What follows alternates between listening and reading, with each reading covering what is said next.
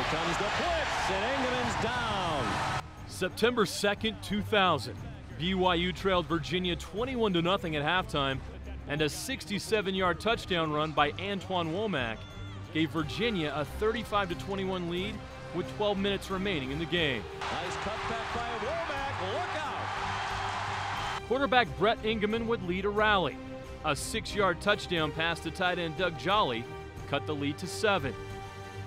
The defense came up big with under five minutes left, stopping the Cavaliers on fourth and one. Then, with less than a minute left, BYU would tie the game. Engemann, end zone, touchdown! Margin hooks. Virginia's game winning field goal attempt never had a chance, sending the game to overtime. The Cavaliers would get the ball first, and the BYU defense would step up with another big play. And it is intercepted. Tyson Smith. So Marcus Whalen has a hole. A 17 yard run by Marcus Whalen would set up Owen Pochman for a chance to win the game. And it is just good. He just did sneak it inside the left upright, and BYU is a winner.